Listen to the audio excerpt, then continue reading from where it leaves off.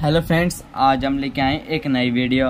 इस वीडियो में देखेंगे गाइस कि हम अपने फ़ोन में डार्क मोड को कैसे सेट कर सकते हैं। तो वीडियो शुरू करने से पहले आप हमारे चैनल को लाइक और सब्सक्राइब कर दिए तो वीडियो शुरू करते हैं गाइस तो हम पहले जाएँगे पहले सेटिंग पर।